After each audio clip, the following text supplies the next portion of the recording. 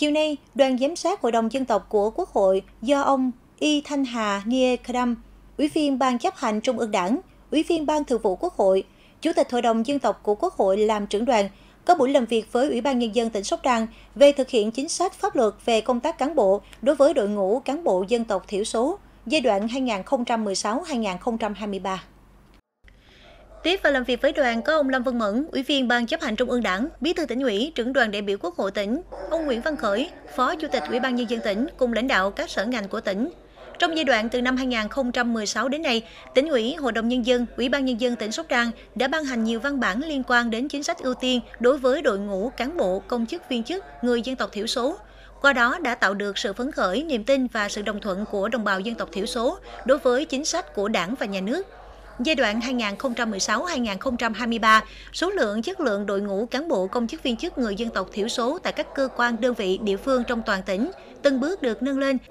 Đáp ứng yêu cầu đặt ra cho trước mắt và lâu dài, các cơ quan đơn vị ưu tiên đối với cán bộ công chức viên chức người dân tộc thiểu số trong công tác đào tạo bồi dưỡng, ưu tiên đào tạo sau đại học theo các chương trình chính sách của Trung ương như đào tạo theo chính sách cử tuyển, đào tạo đại học sau đại học theo chương trình mục tiêu quốc gia phát triển kinh tế xã hội vùng đồng bào dân tộc thiểu số. Năm 2023, tỉnh bắt đầu thực hiện đào tạo sau đại học cho cán bộ công chức viên chức người dân tộc thiểu số theo chương trình mục tiêu quốc gia phát triển kinh tế xã hội vùng đồng bào dân tộc thiểu số. Kết quả đã cử 62 lượt cán bộ công chức viên chức người dân tộc thiểu số dự tuyển sau đại học. Trên tổng số 106 chỉ tiêu được duyệt, kết quả có 52 người trúng tuyển và được cử đi học. Đến ngày 31 tháng 12 năm 2023, số lượng cán bộ công chức là người dân tộc thiểu số từ cấp huyện trở lên thuộc tỉnh là 270 trên 1.738 người, chiếm 15,54%. Số lượng cán bộ công chức là người dân tộc thiểu số cấp xã thuộc tỉnh là 290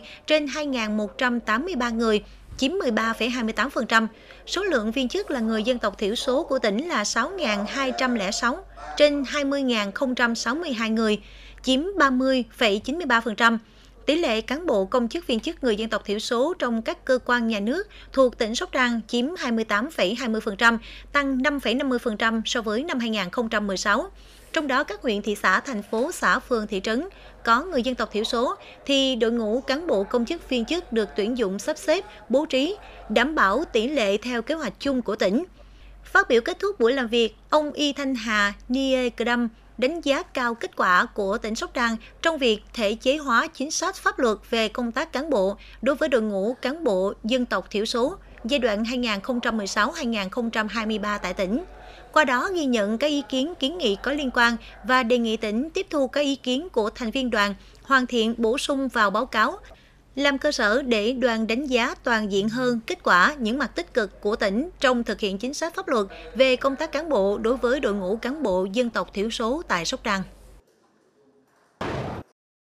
Ông Lâm Tấn Hòa, Ủy viên Ban Thường vụ, trưởng Ban tuyên giáo tỉnh ủy Sóc Trăng đã có buổi giám sát việc thực hiện kết luận số 21 về đẩy mạnh xây dựng chỉnh đốn đảng và hệ thống chính trị tại thị xã Vĩnh Châu. Tiếp và làm việc với đoàn có ông Ngô Hùng, Ủy viên Ban Thường vụ tỉnh ủy, Bí thư thị ủy Vĩnh Châu, Thực hiện kết luận số 21, thị ủy đã tuyên truyền cho hơn 97% đảng viên dự nghe, cử 10 cán bộ công chức tham gia đào tạo sau đại học trình độ thạc sĩ chuyên ngành xây dựng đảng và chính quyền nhà nước, cử 267 lượt cán bộ đảng viên, đoàn viên tham gia các lớp lý luận chính trị và bồi dưỡng nghiệp vụ chuyên ngành cho gần 3.300 lượt cán bộ đảng viên. Ông Lâm Tấn Hòa đề nghị thị ủy Vĩnh Châu tiếp tục nâng cao chất lượng công tác giáo dục chính trị tư tưởng, chuẩn mực, lối sống của cán bộ đảng viên để nâng cao năng lực, sức chiến đấu của tổ chức đảng và chất lượng đảng viên, phát huy tính tích cực, chủ động tự phê bình và phê bình và thực hiện tốt công tác kiểm tra giám sát. Sáng nay, Phó Thủ tướng Chính phủ Trần Lưu Quang chủ trì trực tuyến phiên họp thứ năm Tổ công tác cải cách thủ tục hành chính và Hội đồng tư vấn cải cách thủ tục hành chính của Thủ tướng Chính phủ.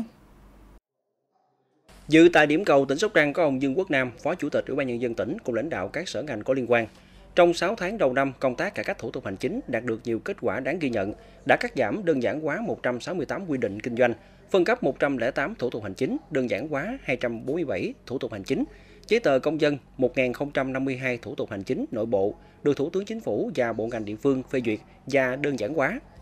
Dịch vụ công trực tuyến được cải thiện về chất lượng, nhiều dịch vụ công được tái cấu trúc, tỷ lệ hồ sơ trực tuyến, số hóa đều tăng so với năm 2023. hơn 4.500 dịch vụ công trực tuyến được tích hợp cung cấp trên cổng dịch vụ quốc gia. Tại phiên họp, các đại biểu đã tham gia thảo luận, chia sẻ những bài học kinh nghiệm, đồng thời đề xuất các giải pháp tháo gỡ vướng mắt khó khăn, phấn đấu hoàn thành nhiệm vụ các tháng còn lại của năm 2024. Phó Thủ tướng Chính phủ đề nghị các bộ ngành và địa phương, thành viên tổ công tác tập trung thực hiện tốt các nhiệm vụ được giao, đồng thời cần đề cao hơn vai trò trách nhiệm của người đứng đầu cơ quan đơn vị, phối hợp và truyền thông tốt hơn nữa để nâng cao chất lượng phục vụ trong thực hiện thủ tục hành chính, cung cấp dịch vụ công cho người dân, doanh nghiệp, kịp thời nắm bắt và xử lý dứt điểm những vướng mắc khó khăn cho người dân doanh nghiệp trong thực hiện cơ chế chính sách thủ tục hành chính, tăng cường kỷ luật kỷ cương trong tiếp nhận giải quyết thủ tục hành chính, cung cấp dịch vụ công.